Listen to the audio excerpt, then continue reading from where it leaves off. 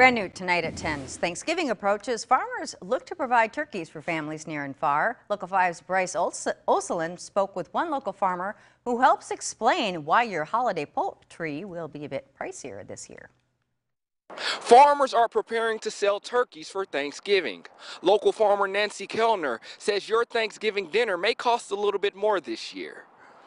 The corn price did go pretty high, so we ended up having to raise our price for the organics. Kellner has been a farmer in Denmark for 50 years and says selling organic turkeys is her specialty. We have to run them all the way out to Minnesota for butcher in order to stay certified organic.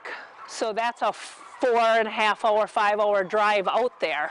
And then they process them and then we bring them back and we sell them fresh off the farm the week of Thanksgiving. Kellner says although the price of organic turkeys has increased, she recognizes them as a healthier and less time consuming option for Thanksgiving dinner. These are a fresh turkey, so they're better tasting and they don't have all that injections of fluids and stuff that a turkey from the grocery store and they cook they take less time to cook as a fresh turkey.